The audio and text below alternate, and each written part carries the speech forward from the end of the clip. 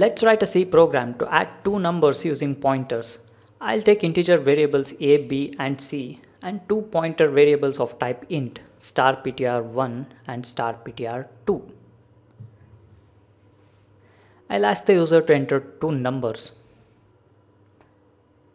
and store it inside the address of integer variables a and b. That is address of variable a is ampersand a and address of variable b is ampersand b. Regularly what we would do is c is equal to a plus b would get us the result. But we need to do the same using pointer variables now okay? So I'll assign the address of variable a to pointer variable ptr1 and I'll assign the address of variable b to pointer variable ptr2 ptr2 is equal to ampersand b.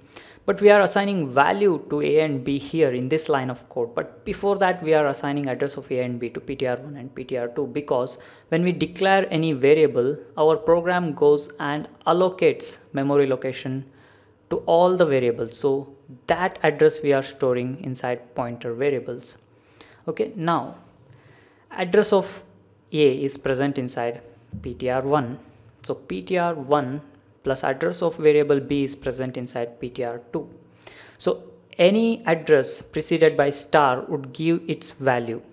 So value of value present inside these two pointer variables are added and assigned to variable c. So i'll display the result that is percentage d plus percentage d is equal to percentage d.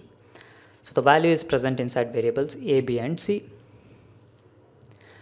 To prove my point that is star that is address preceded by star would fetch the value present at that address. To prove that point I'll copy this line of code and paste it here. So what is I'll replace this line of code. That is what is ampersand a now? Address of variable a. So I'll write that. Ampersand a plus ampersand b. So any address preceded by star would fetch the value present at that address okay so I'll print out the result in next line. So both these printout statements should output the same results according to our logic right? So let's check that out first. So 25 plus no not plus 25 enter or space 25 it should give 50 and it's working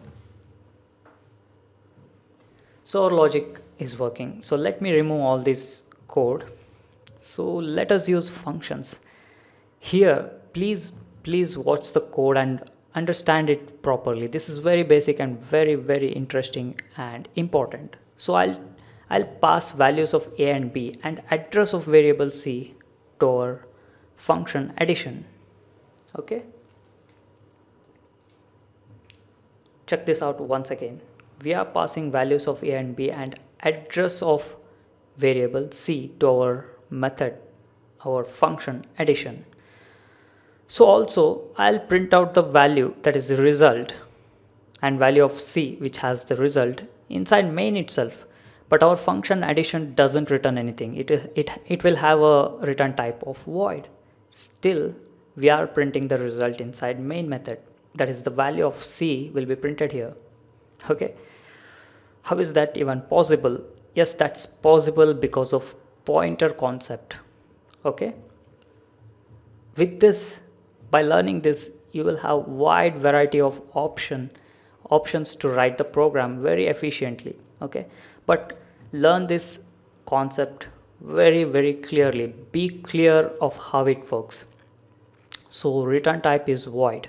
Let's write that first so we are passing a and b normal variables so I'll take local variable int x and int y. So this is address not the normal variable. So I'll take int z.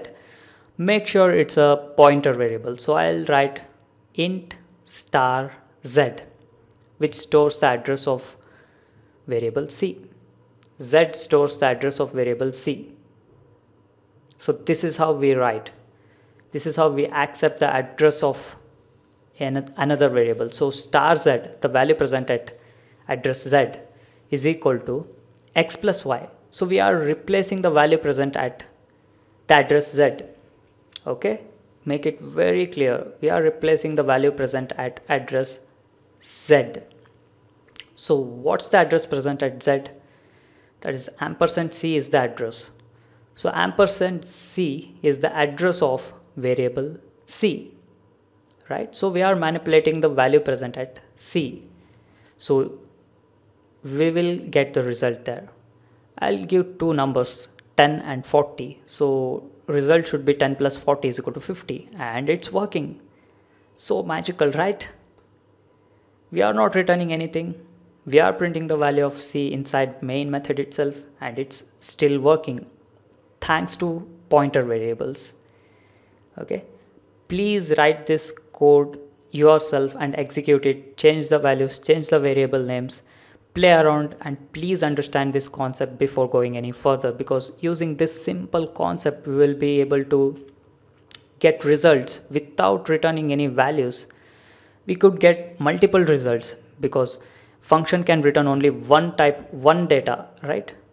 Uh, it can't return multiple values you know that by now right? But using pointers we could use functions very efficiently very powerful combination that is pointers and functions okay? Please do not neglect this small program. Write it down yourself learn it okay? Please visit the link present in the description section of this youtube video for source code notes and discussion about this topic. Please stay subscribed to our youtube channel and blog and please share this video with your friends using whatsapp telegram linkedin twitter Uh, facebook etc and please do not forget to like this video on youtube. Thank you